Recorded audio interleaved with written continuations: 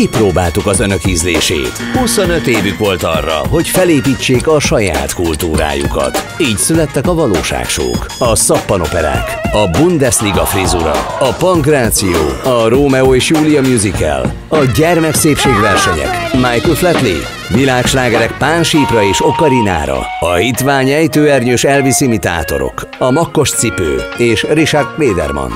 Az önök ízlése leszerepelt. Átvesszük az ügyet, és hozzálátunk a kármentéshez. Ez az önkényes mérvadó a Spirit fm -en. Szervusztok, kedves hallgatók! Az önkényes mérvadóban ma Puzsér Robert mellett Tasnádi Andrással és velük szemben Horváth Oszkárral ö, hallgathatjátok az önkényes mérvadót, SMS számunkon pedig hozzáfűzhetitek saját gondolataitokat 0630 011 07 25 ez érhető el Viberen és SMS-en keresztül. Isten óvja a királynőt, éljen a király! 96 éves korában meghalt második Erzsébet brit királynő. Békében ment el a királynő ma délután. Jelentette csütörtök kora este a Buckingham palota közleménye. Az új király harmadik Károly feleségével Kamillával ma tér vissza Londonba.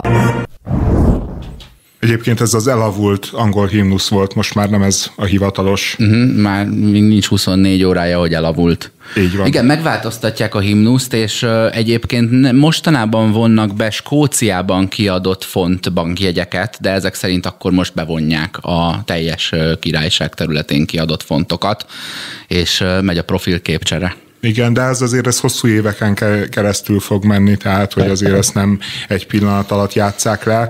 Az érdekes az, hogy, vagy nem érdekes, hanem a nagy tanulság a második Erzsébet halálának, hogy így azért egyszerre megmozdult a világ, és a gyásznak meg a szolidaritásnak egy olyan özöne indult el, ami túlmutat azon, hogy egy államfő elhalálozott, és, és szerintem a, a jó kérdés második Erzsébet kapcsán, hogy, hogy mi ő a, a kulturális vagy a közéleti térben, ami, ami David Beckhamtől Vladimir Putyinig kiállásra ösztönzi az embereket, és, és és arra, hogy jó szavakkal, közös képekkel, közös szelfikkel ízléstelenkedjenek a Facebook oldalaikon.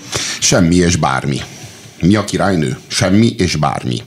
Mivel, hogy a szimbóluma valaminek, mivel, hogy ő nem magát reprezentálja, hanem az Egyesült Királyságot reprezentálja, ezért aztán nincsenek is szubjektív megnyilvánulásai, nem is nagyon voltak, és nem is nagyon emlékezhet erre senki.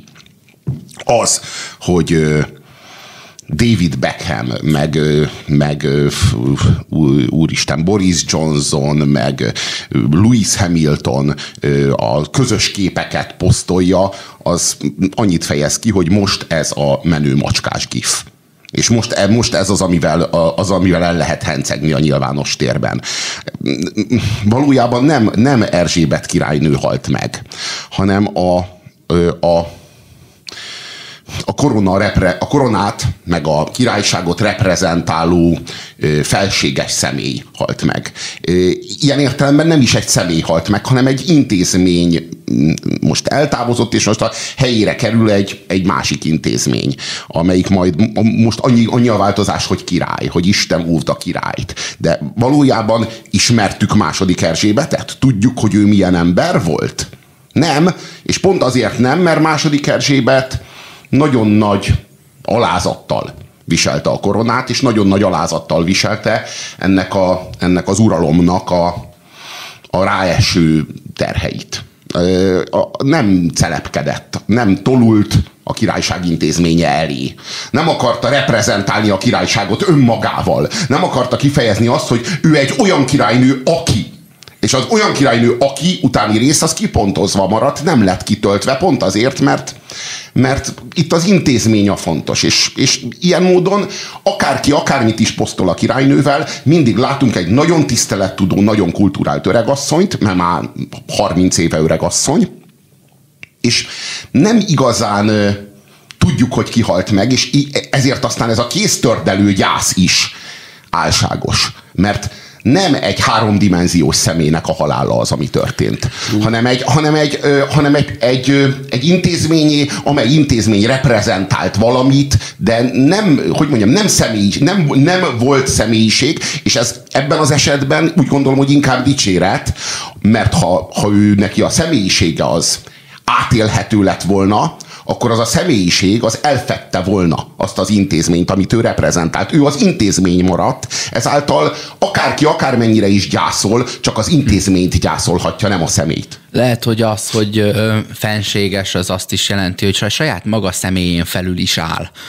És ez bizonyára nehéz lehet ezt ezzel, a, ezzel az önmagattól való távolságtartással elfogadni. Nekem ö, teljesen nem visszás, hanem hogy mondjam, számomra elviselhetetlen lenne az, hogy, az, hogy egy kódexnek feleljek meg, és ne az engemért ilyen szubjektív impulzusoknak kialakítva kifelé is a személyiségemet. Most nyilván, a, amikor azt mondod, hogy gyász, akkor mondhatnánk azt, hogy hát a, azért a hozzá közel állóknak nem, ezt, nem egy intézmény, és nem egy nem három 3D-s személy hogy a meg. De várj, vannak-e igazán közel állók hozzá? Tehát azt megengedhette el magának, hogy annyira közel álljanak hozzá. Azt látjuk, hogy, hogy azért előmásznak itt a, a nagyon egész világ részéről egymásra borult gyászposztok és közös szelfik utána kritikák is, hogy, hogy azért ott egy egyik házasságtörő gyerek, meg a másik, meg az Epstein szigetén mulatozó tudod, Fiú, gyermek. gyermek, meg a, az országot elhagyó unokák, meg a, meg a, a Meghan Markle-t, tudod, és a, a, az onnan származó dédunokát illető kérdések és kommentek sora, hogy nem sikerült úgy, nyilvánvalóan mondjuk azt, nem azt mondom, hogy ember feletti, de hogy mindenképpen egy király személynek megfelelően ö, ö, ö, nem tudom, átlag felett prezentált királyi személy, de hogy ezt nem, ezt ne, nem tudta igazán beültetni azokba, akik őt követik és követhetik. Hát szerintem meg pontosan az, hogy kifejezetten egy 3D személyiség volt, tehát hogy ne felejtsük el, hogy Erzsébet királyné az 70 éve az első számú bulvár celeb a világon. 70 éve. 70 éve minden rezdülését megtárgyalta és kitárgyalta a sajtó. Ő, ő egy feminista ikon volt egyébként olyan tekintetben, hogy vasmarokkal irányította a Windsor házat. Tehát, hogy ő ugye kasztrálta a férjét. Az, az hogy, hogy ne lenne 3D-s ikon, az a, az államfő, akiről a Netflixen most megy a negyedik vagy az ötödik évad a Crown című sorozatnak, és hogyha megnézzük, mindegyik része csodálatos élmény, és, és végtelenül izgalmas korrajz, de hát volt a Queen című Oscar díjjal jutalmazott film egyébként, ami szintén az Erzsébet királynő személyiségéről és, és világáról szólt. Nagyon-nagyon hosszú időn keresztül őt az 50-es évektől volt egy bányabaleset Velszben, amikor egy iskolát elsöpört valami földrengésszerű, valami iszapömlés, vagy ilyesmi, és meghalt 30 vagy 40 gyerek, nagyon sok gyerek halt meg, és akkor a királyi család például nagyon sokáig nem nyilatkozott, és akkor indult el az a diskurzus az Erzsébetről, amit egyébként őt végigkísérte a haláláig, hogy ő egy nagyon érzéketlen, nagyon-nagyon kemény nő. Tehát, hogy az ő személyisége szerintem pont azért állt egyébként az emberekhez közel, mert, mert látszottak az esendőségei, látszottak a, az erényei, amik nem biztos, hogy minden helyzetben erények, nyilván mint kormány, mint államfő, vagy mint, vagy mint olyan ember, aki, aki ellenő, ellenőrzi a családnak a mindennapjait, és mindenkinek kb. beleszól az életébe, úgy működtek, de mégsem szimpatikusak. Én szerintem is ezen kívül, hogy ő nagyon is háromdimenziós személyiség volt, volt. Ezen kívül ő reprezentált valamit, ami, amit én úgy fogalmaznék meg, hogy méltóság, és nem, nem azt a fajta királyi méltóságot, amikor látjuk palásba menni az embereket, hanem azt a fajta kulturális méltóságot, hogy, hogy, hogy ő, ő soha nem tolakodott a lájkokért. Soha nem követelte magának a Rivalda fényt, de egyébként meg bizonyos helyzetekben, bizonyos esetekben meg próbálta kiszolgálni a, köz, a közvéleményt, próbálta modernizálni a monarchiát, egy nagyon-nagyon óvatos reformer is volt egyben, aki, aki sokkal közelebb vitte a monarchia intézményét a britekhez, vagy a nemzetközösség tagjaihoz. Tehát, tehát szerintem egy, egyrészt egy tényleg nagyon izgalmas ember és nagyon izgalmas személyiség, másrésztről meg egy végtelenül pozitív és a mai világban teljesen hiánycikként lévő közszereplő, aki nem, ne, nem volt oda minden áron a szereplésért, minden áron az Insta profilért, minden áron azért, hogy szeressék, hanem, hanem méltósággal és alázattal viselte ezt a, ezt a szerepet. Hát minden rezdülését követte a sajtó, meg a nyilvánosság. Hát én, én, én hozzám nem jutottak el a rezdülései. Lehet, hogy voltak rezdülései, nekem nem tűnt fel, hogy lettek volna rezdülései.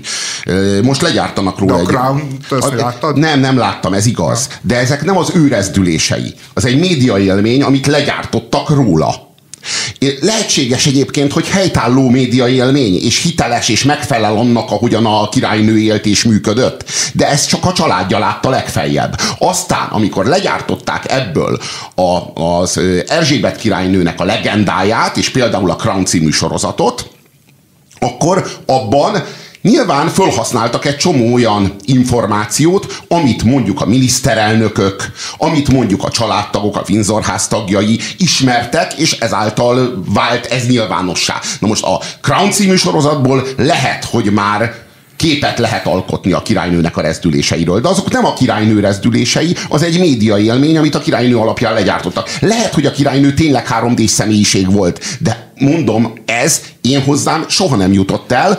Ö, igaz, hogy nem annyira, fogyasztok, nem annyira fogyasztok bulvárt, ez igaz, lehet, hogy ha valaki a rendszeresen olvasta a The Sun-t, ahhoz több eljutott, eljutott róla. Én hozzám az jutott el, hogy ez a nő, ez mindvégig a az intézményt, a a monarchia intézményét reprezentálta, és nem önmagát. Ugye az individualizmus az azt diktálja mindenkinek, de mindenkinek, hogy valósítsd meg önmagad, mutasd meg magad, fejezd ki magad, és ő pedig ezt visszautasította. Persze nem is kellett erre hajtania, mert úgy volt a legelső számú média celeb, hogy nem kellett értetenie semmit, neki nem kellett házalni a saját nagyszerű vagy rendkívül érdekes személyiségével, mert ő volt a királynő. A korona tette őt azzá, azzá a média celebbi. Nem tudott volna nem úgy viselkedni, hogy ez, a, ez az ismertség, vagy ez a média hírnév, ez ne tartozzon hozzá.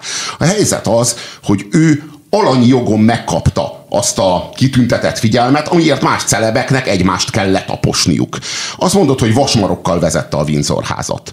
Lehet, hogy így volt, lehet, hogy azok, akik beleláttak a, a a királyi családnak az életébe, azok erről tanúskodnak. De ugyan miről döntött? Tehát mik voltak azok a döntések, amiket ő vasmarokkal, vasmarokkal meghozott, hogy, hogy a fia az milyen nyakkendőt vegyen? Vagy Nem. hogy a férje az hánykor lovagoljon ki? Nem, például, hogy számüzetésbe maradjon a nagybátyja a Franciaországba, például, ilyen dönt, például olyan döntést hozott meg, hogy a férje nem vehet részt az államügyeknek bizonyos szintű reprezentálásába, intézkedésébe. Például ő dönt arról, hogy ki mennyi pénzt pénzt kap a családon belül, a családgazdasági vállalkozásait irányítja. Egyébként egy kitűnő lótenyésztő is Erzsébet. Én, én hát ez bulvár, de hát ez tulajdonképpen bulvár. Én elfogadom, hogy nem 3D személyiség az Erzsébet, oké, okay, lehet, de ki az? Tehát, hogy ilyen alapon akkor a közéletben nincsenek 3D személyiségek, maximum 3D-s média élmények. Miközben én, én azt gondolom, hogy nyilván mindig egy média élményről beszélünk, nyilván nem ismertük személyes teljesen Erzsébetet, nem ültünk ott az asztalnál, de az a helyzet, hogy olyan mennyiségű újságíró, olyan mennyiségű forrás, olyan mennyiségű ember, művész, politikus számol be, ad, ad referenciát arról, hogy milyen ember volt, milyen konfliktusai voltak, hogy működött a házassága, hogy nem működött a házassága, hogy akaratlanul is belelátunk. Az pedig egyébként, amiről mondtál, hogy ő celebbé tette, az egy nagyon érdekes a Crown-nak az első évada nagyjából arról szól, hogy ez vajon kitüntetése, hogy valaki király lehet, és ilyen módon kell alárendelődnie az alkotmánynak, és ilyen módon kell a tradíciók szerint élnie, és, és tényleg önmaga individualitását nem demonstrálni a nyilvánosságba, vagy, vagy ez egy jó dolog, és egyébként a Windsor ház szereplői nagyon sokszor azért ezt egy, egy kifejezett súlyként élik meg, és Erzsébet is annak éli meg. Úgy az tenném elején. fel a kérdés, hogy kitüntetés ez, vagy pedig szolgálat, és amint ezt feltettem, de jó lenne, ha a miniszterelnökök is ugyanezt a kérdést tennék fel De maguknak. más a helyzet a miniszterelnökökkel, mert nekik tényleges döntési mm, hatalmuk van. Meg másfajta legitimáció áll mögöttük, azt is, ö, Az a és, kérdés, és hogy- egy időkorlát gyakorlatilag, ami nem az élet vége.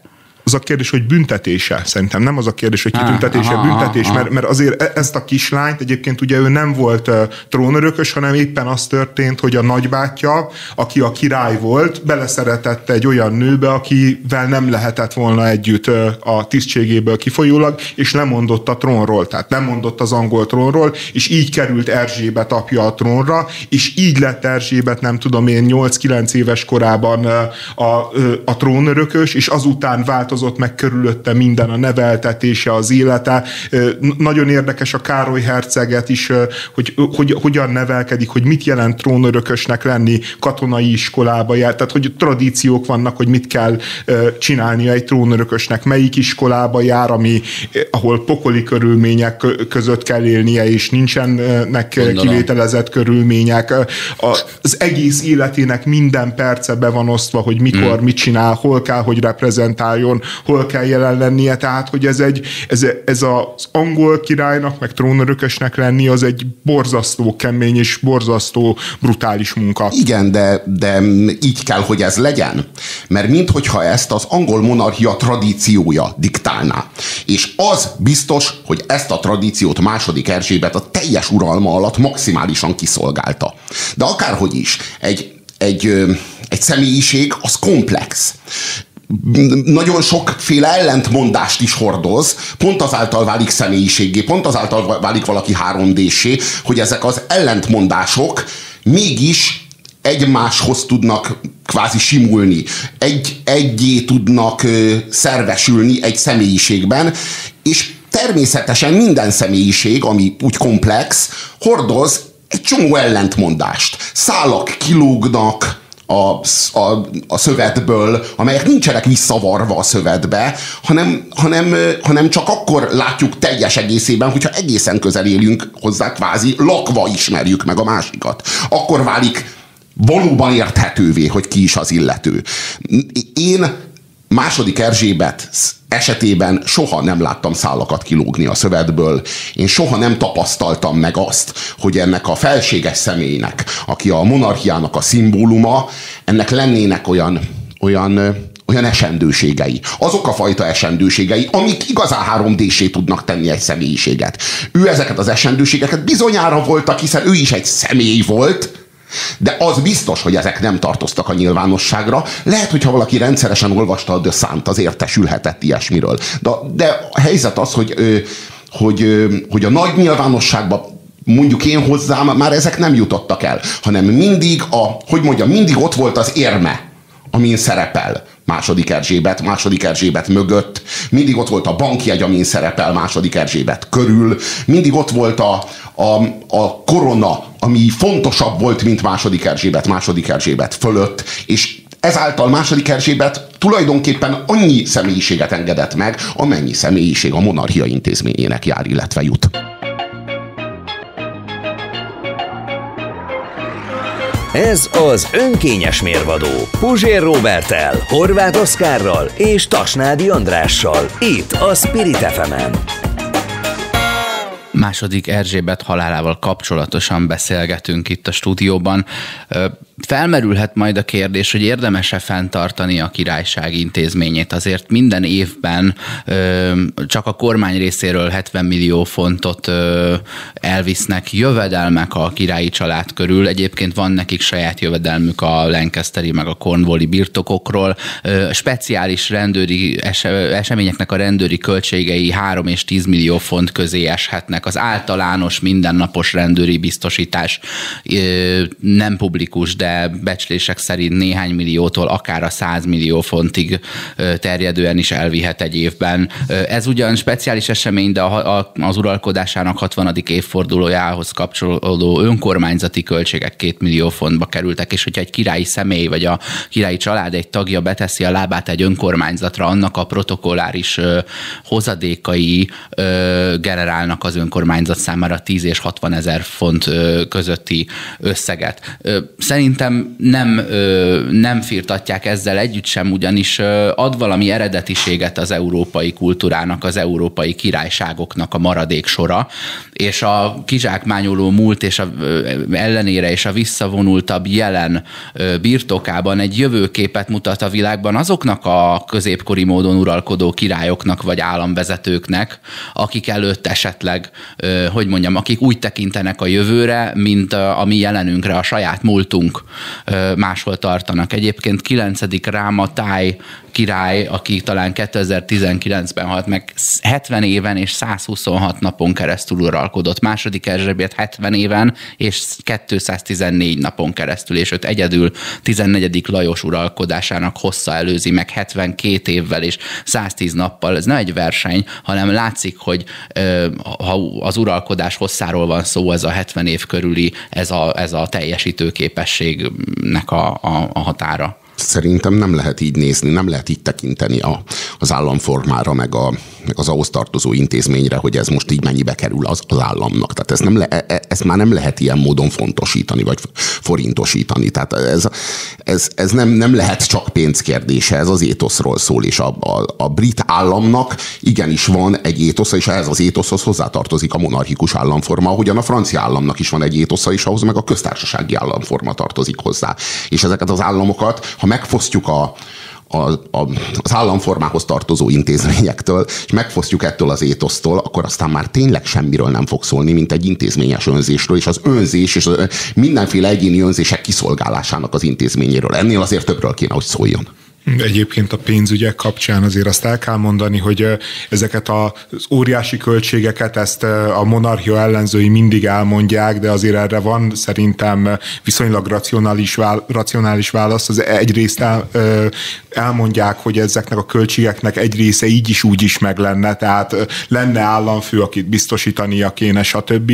Másrészt azért azt is látni kell, hogy a királyi család az egy óriási biznisz Angliának és Angliában. Tehát a, a király királynő képével eladott különböző ajándéktárgyaknak a milliói, a Amiket Buckingham... szintén a királynő képéért adják el cserébe, hiszen a fonton szintén rajta van. Igen, a Buckingham palota elé zarándokló, zarándokló turistáknak a tíz és százezrei, tehát hogy azért ne, ne, nem olyan egyszerű ezt a költségvetés szempontjából se azt mondani, hogy ez feltétlenül egy mínuszos vállalkozás, nehéz kiszámolni, de valóban szerintem a Robinak igaza van abban, hogy, hogy vannak bizonyos dolgokat, ami, dolgok, amiket nincsen értelme forintosítani. Másrészt én még az Erzsébet kapcsán azt szeretném elmondani, hogy ami szerintem benne nagyon-nagyon fontos, hogy ő tényleg úgy tudta reprezentálni ezt a pártok felettiséget, függetlenséget, a, a, azt a fajta intézményesült jogállamiságot, amit, amit egyébként minden, amiről mindenki beszél, de valójában a napi életben nem ezt tapasztaljuk. A napi életben azt tapasztaljuk, hogy az államfők, a politikusok akármennyire is konszenzuálisnak tűnnek, azért adott esetben simán beállnak népszerű vagy, vagy, vagy olyan ügyek mentén, amin, amin megosztják a társadalmat. Azt látjuk, hogy az intézmények nem korrektek velünk szembe, nem tisztességesek a, az átlag állampolgárral szemben, és az Erzsébet az önmagába, a személyébe reprezentálta ennek az egész rossz működésnek a kritikáját, hogy lehetne így is csinálni, és, és pont azért volt fontos, hogy egyébként az Erzsébet nem volt ezer szempontból szimpatikus ember, mert bár nem volt szimpatikus ember, nagyon-nagyon jó államfő volt és ezt, ezt mindenki érezte és mindenki értékelte. Tehát ö, ö, például a közvéleménykutatások, amiket csináltak, ugye folyamatosan ott is közvélemény kutatják, hogy éppen milyen népszerű a, a, a, a királynő, meg a királyi család különböző tagjai, amíg még élt, mert ő 103 évesen halt meg, azt hiszem egy néhány éve, a Queen Mother, az édesanyja volt a kiemelkedően a legnépszerűbb tagja a családnak, nem az Erzsébet, és mondom, hogy voltak az Erzsébetnek különböző botrányai, például a Diana halála környékén, stb., amikor kifejezetten népszerűtlen volt, aztán visszajött, de a lényeg, hogy ő olyan értelemben nem feltétlenül volt egy ilyen poppikon, hogy így, így minden, minden csodálták, meg rajongták a, az egész társadalom, meg az egész bulvár, meg az egész nemzetközösség, de viszont mindenki elismerte, hogy ahogy csinálja, meg ahogy működik, úgy kell csinálni, és úgy kell működni. A, a Windsor ház az azt hiszem, hogy a világ legnagyobb és legnézettebb való villája ahogyan a bulvár sajtó kezeli. És valóban, ha valaki a Windsor házban bármit is elkövet, bármit vagy akármit, vagy ha csak nem is követi el, ráfogják, hogy lapszámokat adjanak el vele, óriási botrányt kavarnak. Jóformán mindenki körül. De Erzsébetet valahogy még a hiénák is megkímélték. Valahogy még a The Sun is, meg a legaljabb bulvárlapok is pontosan tudták, hogy itt egy nemzeti intézményről van szó, ő nem, egy, ő nem pusztán egy öreg asszony. Ő, vele nem lehet úgy bánni, ahogyan amúgy az unokáival simán, a, akár a, a, a, a fiaival simán, valahogy, valahogy, valahogy fölött állt, fölött állt, és ebben minden intézmény részt vett valahogy. Hogy volt a villának egy olyan lakója, aki igazán nem lestek ki csínyán bántak vele. Tehát pontosan tudták, hogy ő, ő, ő többet jelent önmagánál, a, a, a, ha őt kilessük, azzal az intézményt deszakralizáljuk. Márpedig az intézménynek akárhogy is van egy étosza. És az, azt hiszem, hogy azért lett felséges az Erzsébet, mert az intézmény étosza szállt át rá. Én, nem, én, én, én ezzel azért nem értek egyet, mert szerintem ő tényleg nagyon keményen kikezdték, és, na, és sok tekintetben igazuk is volt. Tehát, hogy például nem mondtam a legfontosabbat, hogy a legerősebb kritika az Erzsébettel szembe, hogy nagyon jó államfő, de nem jó anya és, és az ő anyai kudarca, hát például András Herceg a pedofil birtokon mulatozó kedvenc fiú, és az ő anyai kudarca Károly, aki, aki láthatóan szintén tudjuk, hogy egy sok szempontból nagyon megtört, nagyon meggyötört, nagyon magányos gyerekkort megélt fiú, mert, mert az anyja egy rideg kegyetlenséggel rátolt arra az útra, ahol neki herceggé kell leválnia, és csak így válhat herceggé, és, és e, ezt, ezt, ezt, az, ezt a rossz anyaképet, ezt, ezt nagyon-nagyon sokan megírták, nagyon sokan feldolgozták. Hát a Crown például, szintén most ide térek mindig vissza, vissza, az abszolút erről szól, egy erről is szól. De hát pont azt tette őt jó államfővé, ami rossz anyává tette hogyha ő anyaként jól vizsgázott volna, alig ha tudott volna ilyen felséges lenni, és ilyen színvonalon reprezentálni egy, egy ősi intézményt, a monarchiát. Ebben tökéletesen igazad van, csak azt ne felejtsük el, hogy hm, hogy ugye itt örökléssel, ö, örökléssel adódik át az a korona. Tehát, hogyha az illető uralkodó nem jó szülő, biztos, hogy a gyereke lesz a következő uralkodó. Hmm. Kérdés persze, hmm. hogy abba egy embert, vagy abba is egy uralkodót kell belenevelni. Szerintem, szerintem abszolút nem ők nevelik a gyerekeiket, hanem azt is az intézmény neveli. Többek között ezért lesznek egyébként ilyenek ezek a gyerekek. Így, hmm. ker, így, így, így kerülnek a, a Epstein birtokra. Rángassuk hát meg, meg, le. Egyébként gondoljatok bele, hogy micsoda egy szörnyű paradoxon, hogy, a, hogy a, miután a gyerek örököli a tisztséget, meg mindent, valójában ő, az ő élete akkor kezdődik, amikor meghal az édesanyja. Tehát, hogy, hogy úgy élsz, hogy igazából készülsz egy szerepre, ami csak akkor uh-huh. fog elindulni, hogyha meghalt az édesanyát. Tehát, hogy, De nem várhatod. Nem várhatod. Tudod? Mert hát, akkor az anyádnak a halálát óhajtanád. Mert nem várhatod, de készülnöd kell valamire, amit nem akarsz, nem szabad, nem is szabad akarnod, de készül, folyamatosan készülnöd de, kell rá. De, de akarnod, tehát azt, hogy te király legyél, azt akarnod kell. Azt de csak az anya, az anyád halála után szabad elkezdened akarni, mert addig az anyád halálát akarod. Igen, de, de szerintem ez, de ez, ez, ez benne a szörnyű ellentmondás. Tehát ugye ez, ez az, amiben elpusztul az embernek a személyisége. Könnyebben fel tudták dolgozni abban az időben, amikor a, a trónörökösöket már három-négy éves korukban kipusztította mondjuk a király testvére, vagy, a, vagy, hát vagy, vagy mondjuk a, vagy, vagy 20 éves korukban a három évvel fiatalabb fiú. Nekik könnyű volt. Hát, me, ja. meg, meg 30-40 éves korig, meg 50 éves korig éltek akkoriban a középkorban a, az uralkodó, vagy átlagosan mondjuk 40-50 éves korban haltak meg az uralkodók, és azért nem egyszer a saját gyerekük által szervezett orgyilkosságban, meg különböző háborúkban, tehát Rángassuk le a hírt a magyar nyilvánosság posványába. Tóta V. Árpád a halálhírre reagálva megosztotta egy pár hónappal korábbi cikkét a Facebookon. Úgy fogalmaz, hogy az ünneplésnek, ahogy magának második Erzsébetnek természetesen semmi felfogható értelme nincsen. Természetes Tóta V. Árpád számára, és most már a mi számunkra is. 70 évvel ezelőtt lépett trónra ez az asszony, hogy aztán 70 évig ne csináljon semmi említésre méltót, fogalmaz a publicista majd hozzáteszi, hogy második Erzsébet egy totálisan jelentéktelen alak, aki nem sütött süteményt a briteknek, nem vigyázott a gyerekeikre, és ha netán megszólalt, akkor pont a fölöslegesen motyogó mammer színvonalát hozta fogalmaz Tóta. Árpád. Nagyjából hiszem, a 70. évforduló környékén lehetett ez a cikk, mert néhány hmm. hónapos. Hát ki, ki, kijelentette ezen kívül, hogy a nagymama napjai megszámláltattak pár hónappal ezelőtt. Hát igen. A, Ebbe igaza volt. Így is lett. Az alapvetően szerethető Erzsébet helyére hamarosan egy király lép, és akkor a királyság létjogosultsága újult erővel vethető fel. Harmadik Károly királyt, aki a cikkírás akkor még csak herceg volt, Tóta V. egy híresen buta és visszataszító alakként jellemezte.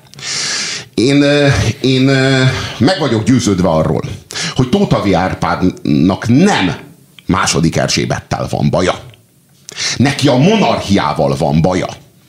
Mert nem elég Tóta Árpádnak innen a, az illiberális ö, ö, Magyarországról elnézve a, a Windsor házat, meg a brit monarchiát. Nem elég neki, hogy ott a kormányzás jogállami és demokratikus. Ez neki kevés. Ő annyira progresszív, hogy az államforma is legyen neki megfelelő, neki tetsző. Márpedig ez, egy, ez a monarchia, ez egy tradicionális államforma, a, a, a korona öröklésén alapul, hát ez, ez, ennél ő sokkal progresszívebb, és akkor neki neki kell mennie az intézménynek, de akkor miért nem az intézménynek megy neki? Miért nem amellett érvel, hogy a köztársaság mennyivel jobb lenne Angliának, mennyivel jobb lenne a briteknek? De nem, hanem ő megszemélyesíti az intézményt, ahogyan a brit britek is megszemélyesítik az intézményt, és a királynőt támadja. És nem azzal támadja a királynőt, hogy hát ez egy idős nő, miért hódolnak előtte, mikor ez egy idős nő, egy állampolgár. Hogyha valaki a köztársasági eszme híve, az nagyjából így áll hozzá, de nem, hanem ez egy fölöslegesen motyogó mammer, egy totálisan jelentéktelen alak, tehát belemegy a személyébe, és azt támadja, tehát miközben nyilvánvaló, hogy Tóta Árpádnak nem a jelentéktelen öregasszonyjal van baja,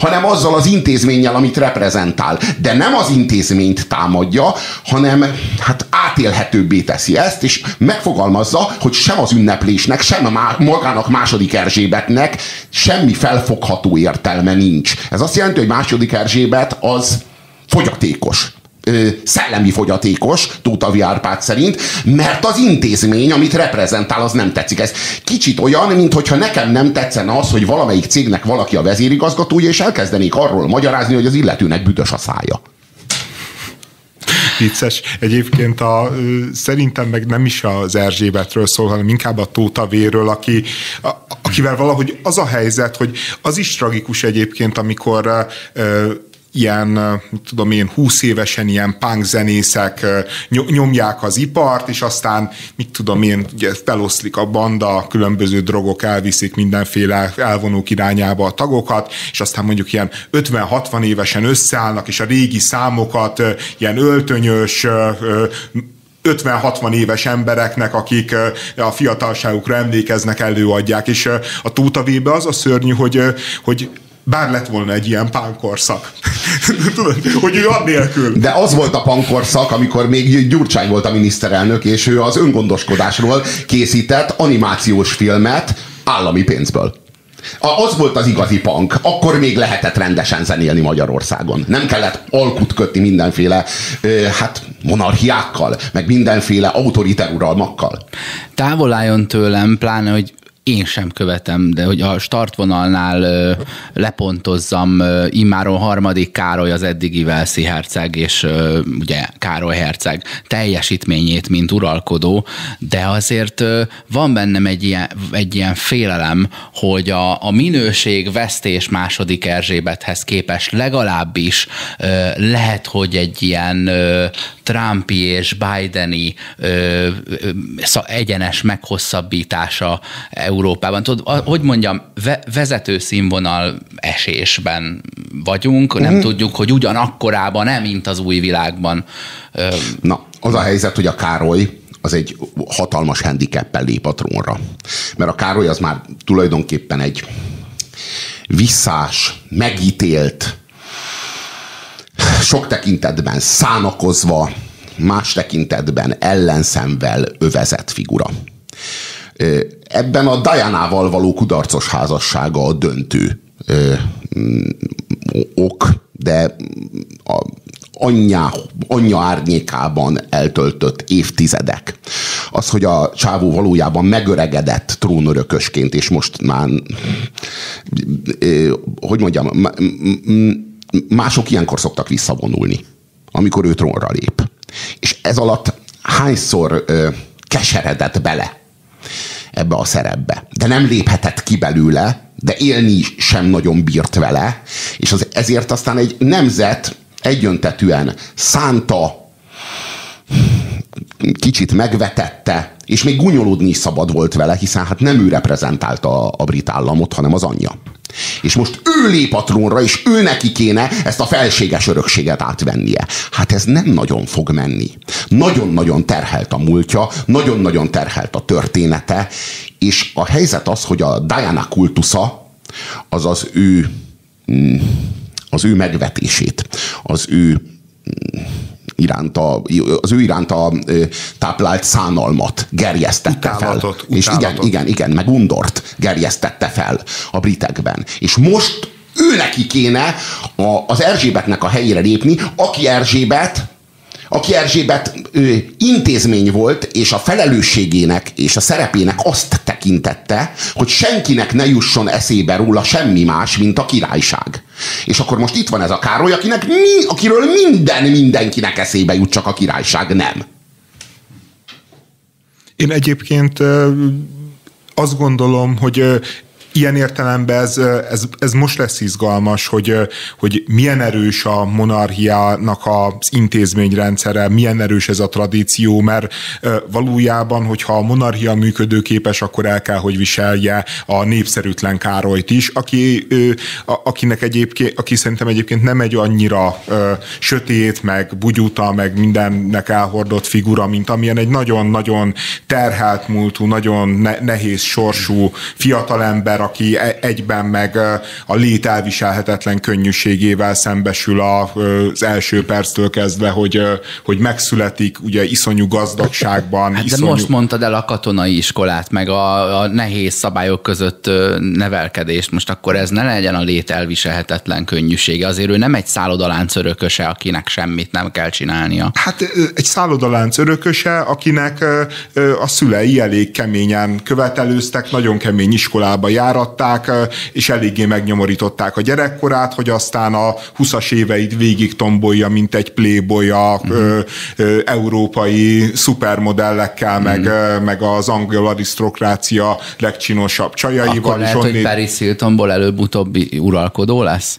azért ez nem valószínű, de, de, de, de a lényeg, hogy, hogy, hogy szerintem a, a Károlyt ilyen értelemben nem ismerjük, és az, az biztos, hogy, hogy ő benne is azért ez a fajta rutin megvan, ami, ami az anyjába megvolt, tehát ő azért tényleg nagy alázattal csinálta végig az elmúlt évtizedeket, a Kamillával való egyébként harca meg háborúja ilyen sok tekintetben egy ilyen epikus történet, tehát hogy, hogy az, hogy a Károlyt ennyire utálja a média Diana miatt, ez igaz, de egy, meg, a, meg a Kamillát is utálja mindenki a Diana miatt, de valahol egy, meg nagyon szép dolog, hogy, hogy valaki, nem is tudom, 20 évesen ismerkedtek meg, meg jöttek össze, és évtizedeken keresztül kitartott ez a kapcsolat, és annak ellenére, hogy az egész világ, tehát hogy tényleg az egész világ háborúzott ellenük, tehát hogy ezt, senki ne, ezt a kapcsolatot senki nem akarta, se a Kamillának a férje,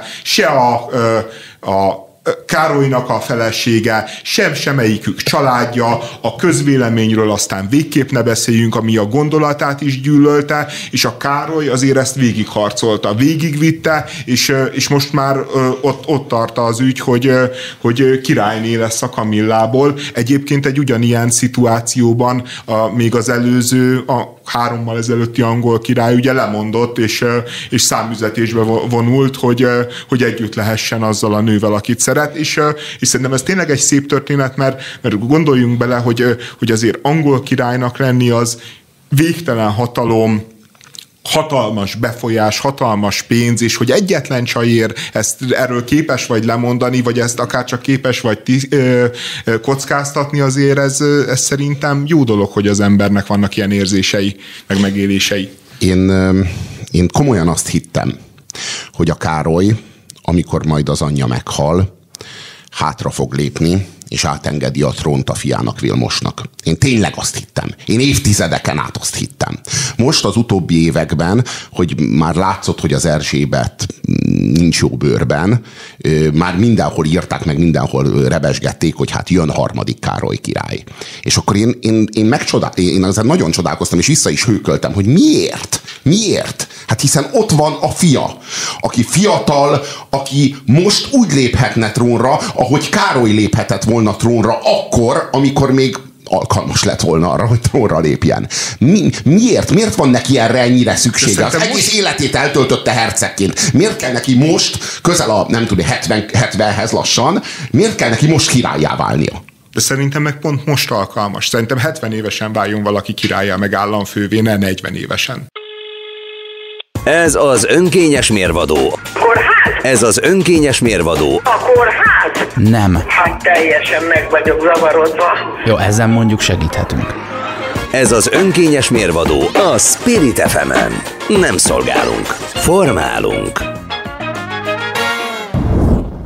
Százezer forintra büntették meg a nagymamát, aki Balatonról hazajövet megállt az M7-es autópálya leállósávjában, mert unokája fuldokolni kezdett. A rendőrség álláspontja szerint a leállósávot csak az autó műszaki hibája miatt lehet igénybe venni, és csak addig, amíg a hibát ki nem javítják. A nyugdíjas hölgy fellebbezésére azt válaszolták, hogy a kormányrendelet nem teszi lehetővé a közigazgatási bírság összegének a mérséklését, de kérhet részletfizetést. Borbé Zoltán közlekedési szakjogász szerint súlyos súlyos rosszul esetén meg lehet állni a leállósávban. Hangsúlyozta, hogy ezt bizonyítani kell, hiszen bárki hivatkozhat arra, hogy a leállósávban valami történt. A jobbágyként tartott társadalom példázata a gyakorlatban. Íme Magyarország, ahol tényleg bármit meg lehet tenni az emberekkel, a kis emberekkel, azokkal, akiknek nincsenek befolyásos barátaik, pártfogóik, akik nem az elit tagjai, hanem egyszerűen csak haldoklik mondjuk az unokájuk, és ők félreállnak, hogy megmentsék az életét. Ki lehet számlázni nekük, nekik százezer forintot közlekedési bírság gyanánt. A pofám leszakad ezt a hírt halva. Ez igazi gyalázat, igazi gyalázat, hogy ez megtörténhet Magyarországon, és hogy tulajdonképpen semmiféle, nem hogy, nem hogy következménye. Így még csak igazi felháborodást sem generál. A, az igazi gyalázat az, hogy a fellebezésben nem mérsékelhető ez a büntetési tétel, mert a kormányrendelet nem teszi lehetővé, amire a rendőrség hivatkozik, tehát neki megvan ugyan kötve a keze. Én is egy méltányosabb, méltányosabb elbánásban reménykedem itt, hiszen én sem tennék másképp. Tehát nem tudom, hogy mik a pontos körülmények, de mondjuk, ha a kisöcsém azt más, és az ülés alá ejtette a, a, az inhalátorát, és rájött egy roham, akkor félreállok, hogy ne veszélyeztessem mondjuk a mozgóautómmal a forgalmat, megkeresem a pipát, beleszív néhányat, és körülbelül mehetünk is tovább. De az állóautómmal is veszélyeztetem a forgalmat, és amint én ö, elhagyom, a, elhagyom saját magamat, és hátrébb lépek ettől a szituációtól, hogy én is ezt tenném, ö, azt kell mondjam, hogy attól a pillanattól kezdve, ahogy a leálló sávban él, ö, állsz, a legnagyobb veszélyben vagy az autópályán. Bármikor jöhet egy fékhibás autó, aki éppen ezért használja azt a sávot, bármikor jöhet egy baromállat, aki ott előz, és úgy gondolja, hogy neki ezt is lehet, és onnantól kezdve nem csak a kisöcsém van veszélyben, akinek keresem a pipáját, hanem én is, és az az ember is, aki éppen belénk fog hajtani. Tehát ha azt mondjuk, hogy senki nem a barátom ebben a szituációban, akkor veszélyesebb ott állni, akár életet mentve, mint tovább menni. Ennek ellenére az a helyes, ha én velem történik, hogy én is segítek a mellettem ülőn, de helyes, hogy megbírságolnak, ugyanis azt a példát nem lehet követni, hogy nyugodtan álljatok meg, ha csuklik a másik, akkor ijeszd meg, meg mesélj neki, meg ígyom vizet. Tehát nem tudjuk, hogy hol a határ, az viszont helytelen, hogy ezt a büntetési tételt utána nem lehet mérsékelni. Tehát ne, tényleg ne kommunikálják kifelé azt, hogy, hogy minden esetben különböző dolgokra hivatkozva meg lehessen állni, de amikor fellebbezés történik, akkor legyen már lehetőség arra, hogy a méltányosság az ne a részletfizetést jelentse. De most jó, akkor én teljesen félreértem a leállósáv lényegét, de hát a leállósávba tényleg így megállnak emberek passzióból? Tehát, Megállnak, hogyha... húgyozgatnak, Tesco zacskóból szendvicsezgetnek, meg Jó, de, ilyenek. De, de akkor tudod, akkor azt úgy kell szabályozni, hogy nem lehet megállni, WC-re menni, nem lehet megállni, Így van enni. szabályozva. De, az a gond, ne, az nem, a nem, gond úgy hogy... van szabályozva, hogy nem lehet megállni, csak hogyha az autó mű, műszaki állapot azt nem És a műszaki állapot az azt jelenti, hogy a, hogy a hajtáslánc műszaki állapota, tehát ha nem ég a jobb belső fényszorod, akkor ne álljál meg, hanem ha nem működik az autó, hogy megy azt nem csinálja, hogy autó. Akkor, világos, akkor vilá, vilá, világos, de tudod, haldoklik az unokája mm, félreáll, mert ezt kell tennie, mert akármelyik nagyszülő, vagy akármelyik szülő, vagy akármelyik felelős ember ezt tenni. Ezek után kiszámlázzák neki a százezer forintos bírságot, és hogyha rákérdez a nagyi, hogy kedves hatóság, mit kellett volna tennem? Ön, kedves hatóság, mm-hmm. mit tett volna, ha éppen haldoklik az unokája, akinek meg kell menteni az életét, mert mit tudom én, lenyelte a nyelvét, Mit tett volna? Hajtott volna tovább az autópályán, és várta volna a következő lehetőséget a lehajtásra? Miközben megfullad az unokája? Mit, és erre mit válaszol a hatóság? Az a válasz, hogy nézze, kedves nagymama, ez nem a mi dolgunk, én a hatóság vagyok, nekem nincs unokám, én nekem nincs is lehetőségem arra, hogy mérlegeljem a kedves nagymamának a, az aggáját, meg a kedves unokának az egészségi állapotát. Itt ez egy nagyon egyszerű képlet. Műszaki hibás volt az autó? Nem volt. Megtetszett állni a leállósávban? Megtetszett. Százezer forint. Ennyi. És itt nincs méltányosságot tetszik kérni? Hát akkor be lehet fizetni részletekben is a százezer forintot.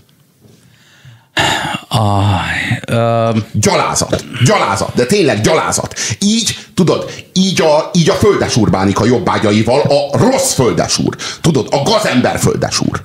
Az, az, a, az a szörnyű, hogy elvileg, mondjuk peres esetben, ha ez odáig fajul, mert nyilvánvalóan egy, egy írásbeli fellebez, nem olyan fellebezésre gondolok, hogy írsz egy levelet, egy panaszt, egy kérvényt, Ez legyen a fellebezés formája, az, hogy írsz egy kérvényt, hogy méltányolják, hogy te az unokádon segítettél, akkor ez nem elég, hanem ugye itt azt mondja a közlekedési szakjogász, hogy a súlyos rosszul lét esetén meg lehet állni, vagy nyilván ez azt jelenti, hogy nem megszabad, hanem hogy a, a joggyakorlat az már döntött annak a kedvére, aki, ö, aki ilyen esetben állt meg, de ez bizonyítani szükséges. Tehát mit mondanál a nagymamának, hogy persze álljon meg menteni az életet az egyik kezével, de a másikkal szelfizze, selfie videózza, hogy életmentés történik, mert erre majd különben 100 ezer forintba fog kerülni ez az életmentés. Hogy a bizonyítási kényszer az annál van, akit bajba jut.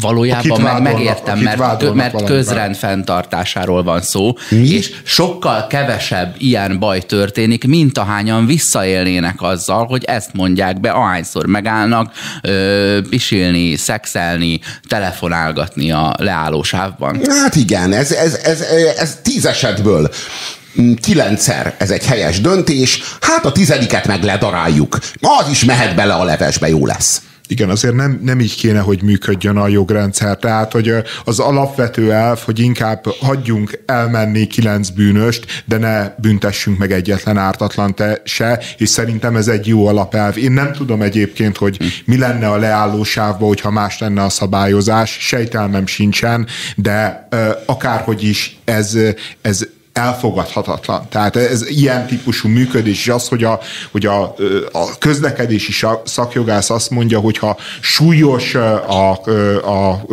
probléma az egészségügyi állapot, mi a súlyos? Hát akkor e, e, erről is majd vitatkozunk a, a, a hivatallal, és azt mondjuk, hogy súlyos problémát érzékeltünk, és kérdezi a hivatal, hogy és van önnek orvosi végzettsége? Ja, hát az nincsen, csak elkékült a unokámnak a feje, vagy, vagy éppen rosszul voltam, mit tudom én, forgott a gyomrom, nem tudom.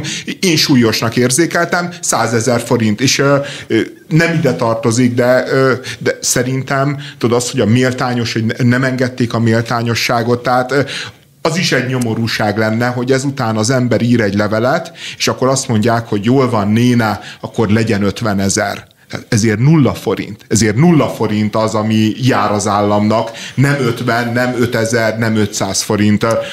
És egy távolabbra vezető dolog egyébként ezekkel a bírságokkal kapcsolatban is, hogy ne, nekem egész egyszerűen az az elfogadhatatlan, hogy az államnak az a hozzáállása, hogy valaki leáll a leállósávba, mondjuk szexelni, vagy ö, szendvicset enni, és, ö, és hogyha ő Ezekből egy nyugdíj... is lehet fulladozás. Ö, és hogyha ő egy nyugdíjas, akkor, ö, akkor a félhavi jövedelmét elveszik, ha viszont egy jól menő broker, akkor, ö, akkor elveszik az aznapi bónuszának a fele. Tehát, mm. hogy, mondjam, hogy, mm.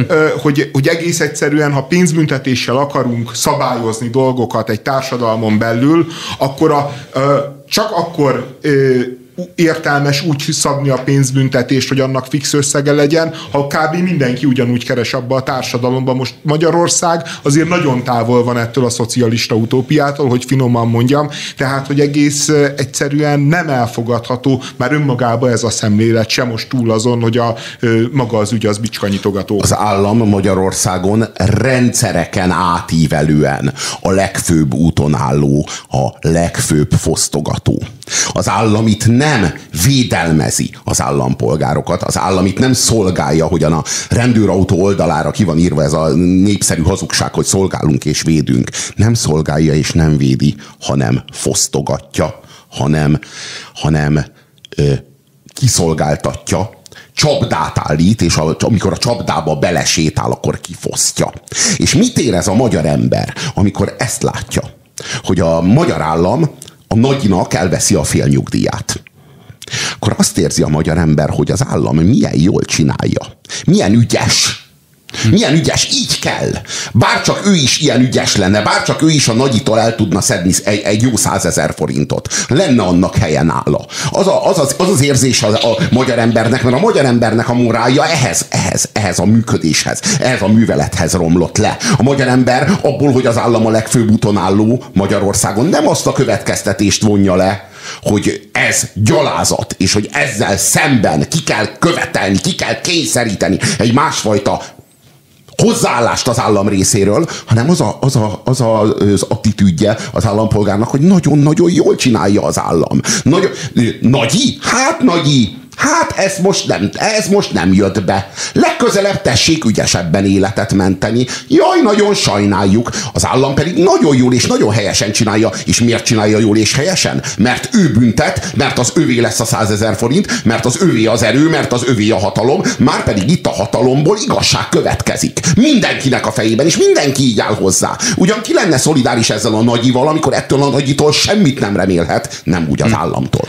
A, ennek a másik oldala is megvan, hogy ö, ugye ez a százer forint ennek a néninek mondjuk sokat jelent, de valakinek meg nagyon keveset. Akit mondjuk, ö, akit mondjuk e, ugyanez, ugyanez a bírság terhel, hogyha 20, 20 centit belelógsz egy ö, mozgássérült parkolóhelybe.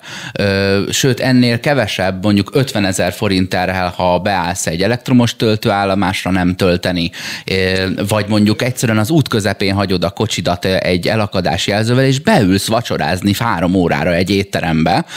Azt gondolom, ha tudod, annak az embernek, akinek egy szép nagy, jellemzően német autója ott áll a, az út közepén dugót okozva, a, tudod, a bicikli per külső sávon, és konkrétan egy órán keresztül ben beszélget valahol, annak meg sem kottyan az a bírság, amit esetleg rámernek tenni. Én nem gondolom, hogy jövedelem arányosan kellene ezeket rendezni, ugyanis a jövedelmek nagyon szürkék, és a kata eltűnésével vissza is fognak szürkülni, feketedni. A gépjármű értékével arányosan kellene ezeket meghatározni, hogy legyen az a jármű értékének az 5%-a mondjuk, és egyébként abból lehessen mérsékelni, amennyiben valahogy igazolható, hogy ő lehet, hogy életet mentett, tehát ha mondjuk, hogy ne az legyen, hogy videóra kell vennem, ahogy haldoklik az unokám, de ha papírja van róla, hogy van egy ilyen kondíciója, akkor azzal lehessen annyira élni, hogy enyhítjük a büntetést. Én nem értek az, nem is vitatkozom a Tasnádival, hogy legyen nulla, mert attól is jól érezném magam, ha ez nullává válna, de mint köznevelés, hogy innen, hogy ez tulajdonképpen ez nem probléma, azzal, azzal nem értek egyet, mert az, hogy ő éppen életet ment, az közben mások életét egy autópályán veszélyezteti. Ezért kénytelen az állam nevelni, de a nevelés az, hogy a büntetésnek nevelés célja kellene legyen, hogy, hogy ez ne forduljon elő mással, meg, meg vagy kell vele büntetni, meg kell, meg kell nevelni a nagyit, aki nem rendeltetésszerűen menti meg az unokájának az életét, mert vezetés közben Minden. kéne megmentenie, vagy, vagy hagynia kéne az unokáját meghalni, amíg megtalálja a le, lehajtót. Neveljük meg a nagyit, hogyan kell halálba segíteni az unokádat, ahelyett, hogy megmenteni. De most komolyan, Oszi, hogyha, figyelj, hogyha ez az hogy én elfogadom, akkor miért nem azt mondjuk, hogyha egy kocsi már nem tud menni, akkor le kell hajtani a leállósávba, és utána egy olyan 10, 15 kilométeres sebességgel még kimenni még, még egyel a mezőre, meg nem tudom mi, hogy másokat ne veszélyeztessél. Tehát, hogy most vagy, vagy arra való a leállósáv, hogy ott leálljon az, aki bajban van, vagy akkor mondjuk azt, hogyha ő, ő ott embereket veszélyeztet, tehát, hogyha olyan nagy az esély a balesetre, akkor viszont ráncsa a kormányt még egyen jobbra. Tehát, hogy szerintem valamibe dönteni kell. Én, én nem tudom, hogy mekkora probléma leállni a leállósávba. Nagyon sok autót láttam a leállósávba, még ütközés nem láttam a leállósávba, viszont a rendes autópályán már láttam egy csomót, pedig nem sokat autópályázom. Én, én, én ne haragudj, de én ezt én es, esküszöm, hogy, hogy, hogy, hogy, hogy akarja, ez az állam akarja megnevelni az állampolgárokat? Ez nevelje meg az állampolgárokat? Az az állam, amelyik lépten nyomon fosztogatja az állampolgárokat, és akkor ő, ő a tanár, ő van abban a pedellusi pozícióban, ahonnan ő majd nevel, majd megneveli az állampolgárt. Az az állam, amelyik a 20. század széltében, hosszában zárta koncentrációs táborokba, gázosította el, lőtte messzes gödrökbe, meg, meg telepítette ki az állampolgárokat, most jön és megnevel minket, hogy a leállósávon nem mentsük meg az unokánknak az életét. Nem szorulunk rá erre a nevelésre, és ha csak hallom ezt, hogy ez az állam akarja megnevelni az állampolgárait, akik éppen nem megfelelő módon mentik meg egymás életét, hát kinyílik a szamuráj kard a zsebemben. Ez az önkényes mérvadó Puzsér Robertel, Horváth Oszkárral és Tasnádi Andrással. Itt a Spirit fm -en. Az elhalasztott tűzijáték után augusztus 22-i hatállyal Palkovics László technológiai és ipari miniszter felmentette az Országos Meteorológiai Szolgálat elnökét, Radics Kornéliát és szakmai alelnökét Horváth Gyulát. A döntést tömeges felháborodás követte. A Climate Without Borders közleményében 42 ország meteorológusai fejezték ki szolidaritásukat. Sokkolta őket a hír, hogy két kollégájukat azért távolították el, mert rendesen végezték a munkájukat volt. A szervezet kiemelte, hogy szinte lehetetlennek kéne lennie annak, hogy megjósolják a légkör viselkedését. Mégis olyan fejlődésen esett át a meteorológia, hogy az emberek azt várják, hogy pontosan meghatározzák az időjárást. A klíma határok nélkül közleménye úgy fogalmazott, az előrejelzéseink néha tökéletlenek lesznek, és gyakran népszerűtlenek, de fontos, hogy az embereket helyezzük a politika elé. Miért nem az időjárás bocsájtják el?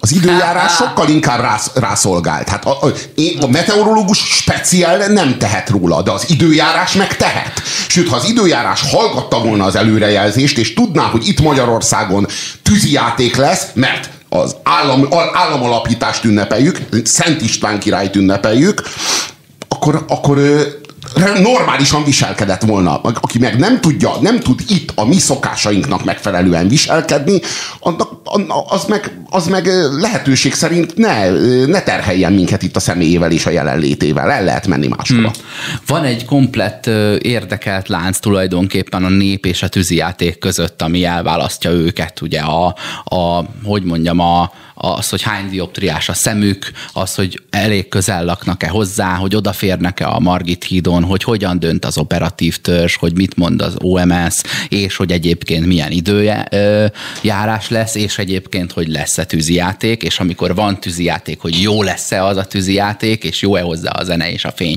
Ha ebben a láncban bármelyik elem sérül, azt ki lehetne rugni a francba. Na de ki döntene úgy, hogy a tűzijátékot rúgja ki, ugye csak elhalasztottuk, nem elmar maradt, és kidöntene úgy, hogy a népet rúgja ki, aki ezt nézni szeretné. Úgyhogy valakit ebben a láncban fenékbe kell billenteni. De érdekes, hogy nem merül fel az operatív törzsnek a lefejezése, hanem inkább az, a meteorológia szolgálatai egyébként mindketten jól látták el a munkájukat. Tehát meghoztak egy valamilyen valószínűséggel ö, éppen meghatározható előrejelzést, amely soha nem száz százalék, míg a másik azt mondta, hogy nekünk most kell döntenünk, nem három óra múlva, lehet, hogy akkor pontosabbat kaptak volna, de egyszerűen a szervezés ezt követeni meg. Ö, és akkor úgy döntünk, hogy ez nem tartható meg. Ez egy helyes döntés. Láttuk, hogy mi történt, nem is tudom, 10-15 évvel ezelőtt, amikor óriási vihar volt, hogy azért fejetlenség és sérültek, és kevés esetben halott, halálesetek fordultak elő, hiszen egy óriási tömeg kezd el menekülni egy, egy, egy vihar elől. Minden esetre meg kell hozni azt a gesztust, hogy ugye itt a cirkuszt és kenyeret a népnek nem valós valósulhatott meg, mert a, a Kolosseumban nem sikerült bejutni. Úgyhogy a, úgyhogy a jövő heti Kolosseum kezdő sója az, hogy a, a jegyszedő nénit a Kolosseumból jól megkövezzük, és mindenki tapsolhat hozzá. Én valami ilyet látok benne, bár az első fogalom, ami eszembe jutott, vagy emlék, ez a, ez a Xerxes féle tengerkorbácsolás, hogy ö, elsüllyedt a flotta, na akkor elverjük a tengert. Na erre mondom, hogy ki kellett volna rúgni az időjárás mást, vagy a légkört. igen, igen, igen. Egyébként a Xerxes azért következetes pali volt, tehát nem csak a tengert korbácsolta meg, hanem az udvari időjósokat is kinyírta, tehát, Aha. tehát ilyen értelemben a párhuzam az sokkal teljesebb, mint, mint elsőre. A, és az időjósok már akkor sem tudták megmondani, hogy milyen lesz az idő. Az, az irodalom történész Nyári Krisztián pont egy ilyenről emlékezett meg ezzel kapcsolatban egy cikkben, hogy Alexei Feodorovics Wongenheim, a Szovjetunió meteorológia szolgálatának igazgatója, őt Stalin szabotásvágyával 10, majd még 10 év kényszer munkára ítéltette 1934-ben, mert szerinte meghamisította az előrejelzéseket, hogy aláássa az asszály elleni harcot. Csak a Szovjetunió összeomlása után derült ki, hogy valójában a rabság a harmadik évében 1115 másik rabbal együtt kivégezték a kényszer munkára utaztatott Szibériába küldött meteorológiai igazgatót. Igen, nem gondolná az ember, hogy ez egy veszélyes szakma, de ö, tökei vannak annak, aki beleáll és jelentkezik a hova is a hol, hol tanítják ezt? A meteorológiát? Igen. Hát én egy, egy, ilyen eltal, eltel fizika, matematika, nem földrajz, nem, földrajz. nem, nem, ez nagyon van bonyolult számítások. A fizikához van a legtöbb köze, én azt gondolom. Tehát, hogy abban kell a legerősebbnek lenne, ráadásul képzeld el, hogy ö, ö, nyilvánvalóan ez a, a, a a bolygók fizikája, atomfizika, az optika, a hidrodinamika, meg az aerodinamika az, amik ugye a legbonyolultabbak, de mondjuk lehet, hogy, a, lehet, hogy az atomfizika koncepcionálisan bonyolult, tehát valami olyanról kell gondolkodnod, ami nem fér a fejedben, de azt gondolom, hogy ha csak néhány, tudod, elméletben néhány testet vizsgálsz, amik pontszerűnek is tekinthetők akár, akkor nem éri el azt a bonyolultságot, mint az, hogy te odébb fújsz egy pingponglabdát, és számolt ki, hogy hol fog leesni. Én nekem, ne, ne, nekem, nekem mindig az volt a, tehát két, két ilyen szakma van, a közvéleménykutató, meg az időjárás kutató, akikkel, akikkel kapcsolatban mindig az volt az érzésem, hogy hát, hogy így vékony jégen járnak, de mindig azt hittem, hogy a közvéleménykutatókat fogják elkapni, hmm. és majd lesz valami rituális kirúgása a közvéleménykutatóknak, hogy amikor azt mondják, hogy Hán Endre, vagy, vagy azt mondják, hogy Závec Tibor, na most megtörtént, tévedtél most már tizedszerre, tizenötödszörre, most már vége, vissza kell, hogy add, add, add az ipart, és, és nekem annyira meglepő, hogy az időjárás jelentők, miközben persze sok igazság van abban, hogy, hogy való igaz, hogy ez a szakma valószínűségekkel dolgozik, de egyébként ezeket a valószínűségeket, amikor a médiában prezentálják az ő jóslataikat, azért nem szokták hangsúlyozni, tehát hogy, hogy, hogy ugye itt az a vált, hogy nem igazán értjük, hogy, hogy ezek csak valószínűségek, de azért sem értjük, hogy valószínűségek, mert azért ezt azért nem mondják el gyakran az embereknek, meg hanem úgy mondják, hogy holnap napos idő lesz, 27-től 23 fokig, holnap után meg biztosan nem lesz eső. És aztán, hogyha van eső, többek utólag azt mondják, hogy jaj, ja, hát ez egy szakma, ami valószínűségekkel dolgozik, de amikor fel kell lépni, és amikor bele kell állni, akkor viszont ők a tudós emberek, akik megmondják, Jó, hogy mi lesz. Nincs mondod, egy ilyen ellentmondás? Te sem mondod, mint minden nap azt, hogy bedugom a vasalót a dugaszoló ajzatba, hanem azt mondod, hogy duga, és feltételezett, hogy elég volt egyszer elmondani, hogy az egy dugaszoló ajzat. Érted, hogy, hogy, hogy ez a, a, nem volna egy hatékony közlése, de látod, hogy azt mondja, hogy 27-29 fok, mert a 27-re lehet, hogy van 82 százalék esély, a 28-ra ennyi, meg ugye ez egy napszakot fog felölelni. Nos, itt Türkmenisztánban úgy tűnik, hogy a közvéleménykutatók akárhányat tévedhetnek, büntetlenül, még úgy is, hogy annak a mennyiségű tévedésnek a fele hazugság. A, az időjósok meg semennyit. Az időjósok részéről egyetlen tévedés sem fér bele, amennyiben a magyar államiságot akarja megünnepelni és megünnepeltetni a magyarokkal Orbán Viktor. Hát kifizessen meg az incidensért, vetődik fel a kérdés mm-hmm. Türkmenisztánban. Mert valakinek meg kell fizetnie az incidensért, hiszen hát ez a, ez a tévedés, ez a gyalázat, hogy elhalasztottuk a nemzeti ünnepet fölöslegesen, hát ez, ez, ez felér egy felségárulással. Valakinek fizetnie kell. Miért kell valakinek fizetnie? Itt Türkmenisztánban azért, mert az időjós nem tudta megmondani, hogy milyen lesz az idő. Azért, hogy ne Orbán Viktor legyen a hibás. Hmm. Nem, Orbán, nem Orbán Viktor lenne a hibás, de azért, hogy nehogy az operatív törzs legyen a hibás, amelyiket hát Orbán Viktor nevez ki. Azért, hogy Orbán Viktorral semmilyen kapcsolatban ne, ne, ne legyen hozható a tévedés, valaki, olyas valakit kell el, elbocsájtani, aki tulajdonképpen szakértő.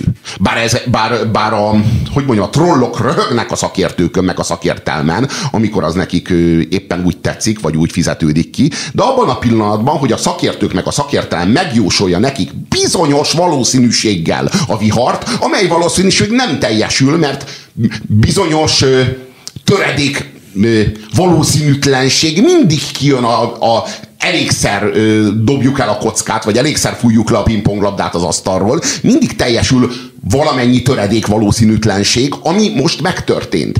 De ez nem fér bele.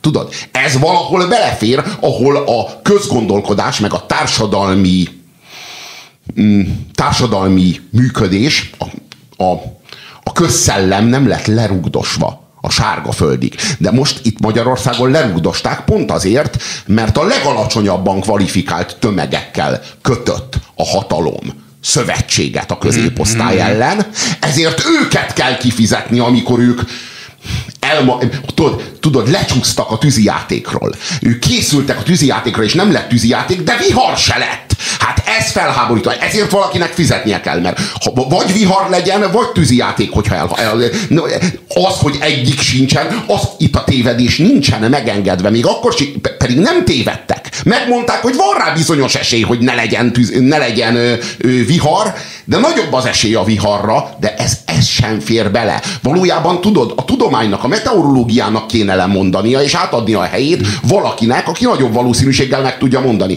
Sajnos ilyen nincsen. Amíg pedig ilyen nincsen, addig a tudósokkal fizettetjük meg a tévedések árát elkelgettük a faluból a rossz varázslót, aki, aki rosszul állapította meg a jövőt. A, az, a, az a szó a mondandódban, persze idéztél és szerepet játszottál, de hogy fölöslegesen halasztottuk el, az botlik nagyot, hiszen nem volt felesleges, mert volt egy veszély, ami egy veszély de nem feleslegesnek bizonyult. A tragédia nem következett be, esemény sem következett be, de veszély az volt, és a veszélyre ö, figyelve értelmes dolog mindenki, elhalasztani. Mindenki jól csinált mindent, csak a magyar ja, társadalomnak már nem lehet elmagyarázni, hogy mindenki jól csinál mindent, és aztán se vihar nincsen, se tűzijáték. Túl primitívé lett téve ez a társadalom ahhoz, hogy ezt egyszerűen befogadja. Valakinek fizetnie kell. Az emberek fizettek előre, hiszen ők lemaradtak, vagy hát elcsúsztak egy héttel a tűzijátékról, tehát ők már ö, investáltak ebbe a problémába, ezért visszafizetésnek számít. Nem, nem fizet valaki,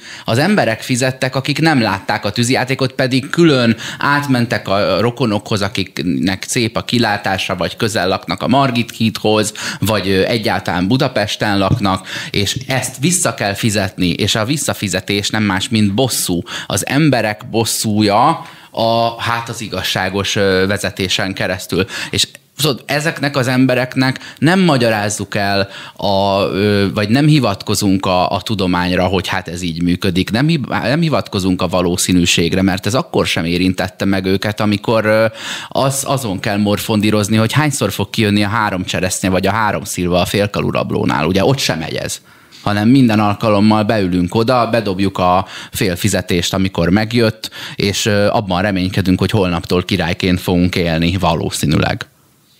Engem meggyőztél egyébként, Oszi, oké, nem kell elmondani a minden időjárás jelentésből, hogy ezek valószínűségek, stb. Egyszer elmondták, értik az emberek.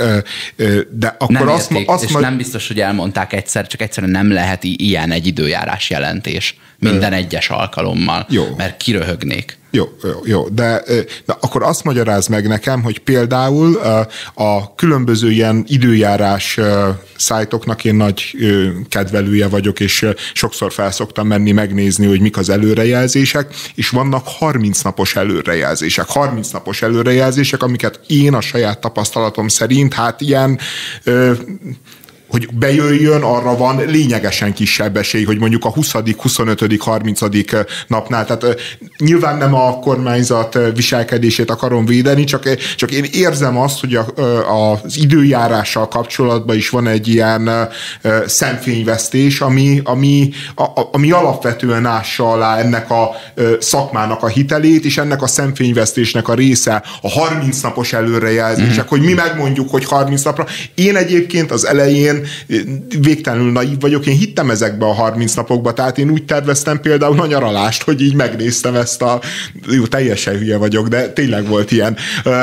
És ugyan, ugyanilyen szemfénymesztés és hazugsága a, az időjós a tévébe, aki mindig jó csaj, vagy nagyon-nagyon sármos férfi. Tehát, de, tehát az, azért ez a szakma... A német Lajosoknak az sok, ideje, sok, Ainer Szilárdoknak az ideje lejárt. Sok mindent megtesz azért, tehát hogy így követ követeli a a, pofont, és, és nyilván egy teljesen igazságtalan pofon érkezett egy nagyon-nagyon rossz helyről, de azért szerintem a meteorológiával, meg az e- a, média kommunikációjával azért komoly De problémák nem a meteorológiával van a probléma, hanem azzal, ahov, ahogyan a meteorológiát kezeli a tömegmédia, amelyik nem a meteorológust állítja ki, mint a német Lajost vagy az Aigner Szilárdot egykor, akik értették is, amit elmagyaráztak, hanem ki egy, kiállítanak egy bombázó csajt, akinek nagyon jók a lábai, nagyon jók a mellei, élvezet őt nézni, és mellesleg elmondja, hogy milyen lesz az idő. Hát ki kíváncsi a meteorológusra? Na most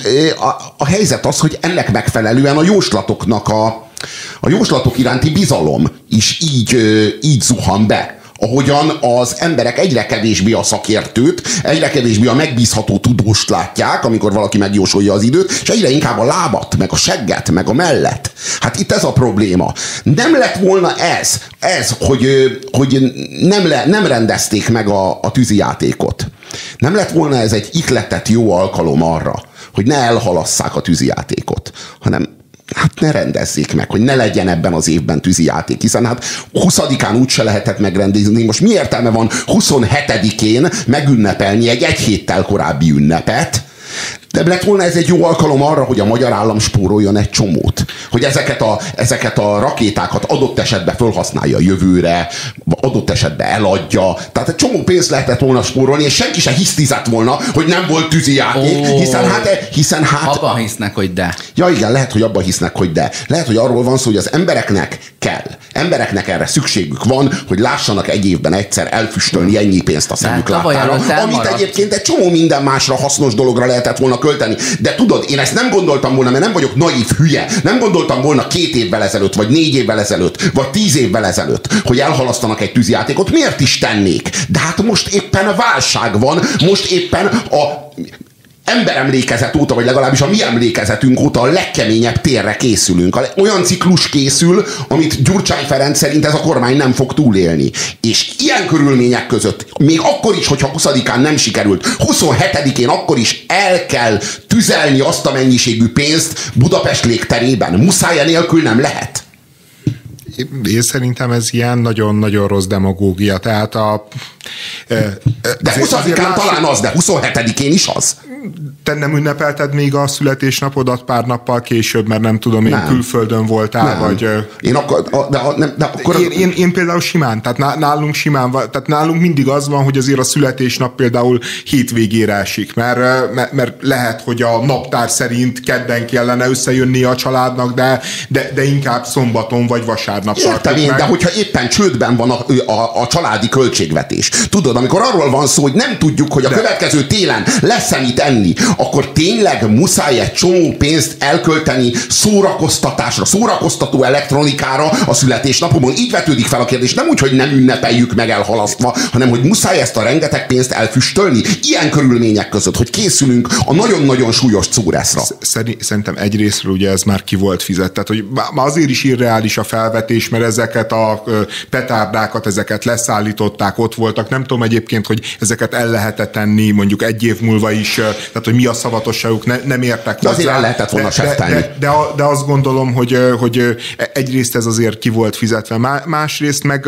azt is gondolom, hogy az ember az nem csak gázzal, fűtéssel, meg, meg meleg szobával él, hanem fontosak, is él. fo- fontos, fontosak az élmények, fontosak a közösségi élmények, talán egy válságba menetelve lehet, hogy még fontosabbak. Én, én nem vagyok, nem vagyok tűzijátékpárti, de pont, és nem is nézem általában a tűzijátékot, de pont aznap mentem a Corvin negyedbe, ott volt egy találkozóm haza, és, és a Calvin téren láttam, ahogy leállnak az emberek, mindenki nézi az eget, ut- utána me- mentem a rakpart felé, és láttam az iszonyatosan hom- hömpölygő tömeget, és azon gondolkodtam, hogy vajon mi az, ami meg tud ennyi embert mozgatni pozitív módon ebbe a városba. És az az igazság, hogy, hogy én nem sok dolgot tudok mondani, ami kivíz 100, 200, 300 ezer Kapcsolatkoncertek, a Petőfi Rádió Nem féle. Symphonic Live és társai, de tényleg lehet, hogy Nem ennyi embert ennyit. nem visz ki. De az nem- ingyenes ilyen tömegrendezvények. Ki, pont- az ingyenes az. tömegrendezvényeken ki, kimegy százezer ember, 300 ezer, mert, mert egész egyszerűen olyan Hmm. mm. színpad kellene, ami a Dunára húzol fel, amit mindenki lát ugye a Duna két partján, és arra a színpadra rá kéne tolni egy olyan együttes, aki kétszer népszerűbb, vagy háromszor népszerűbb, mint a Dua Lipa, vagy a Justin Bieber. Tehát, hogy ak- akkor tudsz ekkora tömeget megmozgatni, nem tudom, hogy ki az az együttes. Ennek legitimáló hatása is van. Hiszen a jó vezető, kedves vezető, a mi kedvünkért éget el ezt a rengeteg pénzt Budapest légterében, a mi gyönyörűségünkre, a mi szórakoztatásunkra. És ez nem pusztán Orbán Viktorra vonatkozik, ez Gyurcsány Ferenccel és Hongyulával, sőt Kádár Jani bácsival pontosan ugyanígy volt. Mindig is így volt. Ennek legitimáló ereje van. Azt jelzi, hogy a kedves vezető gondol a népére. Ez itt és most, bár nem válik belőle semmi, és még csak kultúrának is csak helyjel közzel tekinthető a tűzijáték. Nagyon, nagyon szörmentén, hogy mondjam, pironkodva. Az ember a cipőfűzőjét nézi, miközben azt mondja, hogy hát ez kultúra, de, de zene mégis kell. Volt, Fontos. Zene is, igen. látvány, azért igen, ez szerintem abszolút valamiféle, kultúra. Hát igen, az alja.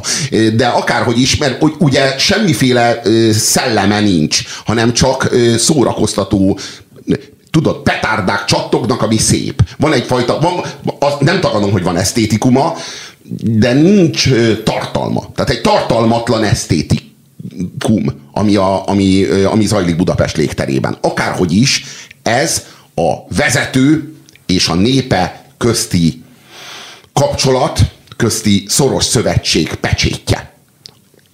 Évtizedek viszonylatában, rendszereken átívelően. Egy valami itt állandó, hogy a vezető a szeretetét a népe iránt a tűzijátékkal fejezi ki, a nép pedig ennek a szeretetnek az elfogadását, ennek a szeretetnek a befogadását a tűzijáték élvezetével fejezi ki. És e, ebben a kölcsönösségben valamilyen módon augusztus 20-án mindig újra pecsételődik az államalapítás. Az állam, az akármikori állam, a Gyurcsányi állam, az Orbáni állam, a Kádári állam, a Hongyulai állam, a Meggyesi Péteri állam ilyen módon bábozza el, hogy ő Szent István.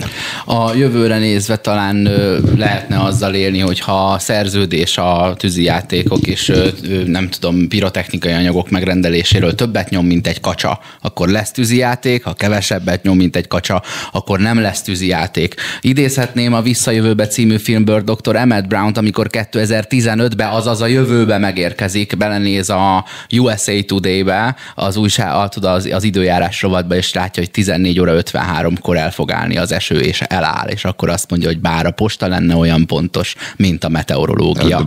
Bár a, bár a visszajövőbe tudná úgy megjósolni a jövőt, ahogy a meteorológusok az időjárás. Azt írja a hallgatónk, gyerekkoromban falun minden család minden évben megvette a Dávid naptárat, ami egy A4-es lapra kinyomtatott egész éves előrejelzés volt. Tasnádi sokkal előbb elkezdhetett tervezni a nyaralást. Szerzünk neked Dávid naptárat. Köszönjük, hogy meghallgattátok a véleményünket. Kellemes Sziasztok. hétvégét kívánunk! Köszönjük türelmüket! A közízlés ma is undorral tolta a tányér szélére mindazt, amit főztünk. Megbuktunk. És legközelebb újra megbukunk. Megmaradt hallgatóinkat, JD-t, Juliant és Martint várjuk vissza itt, a Spirit fm az önkényes mérvadó műsorsávjában.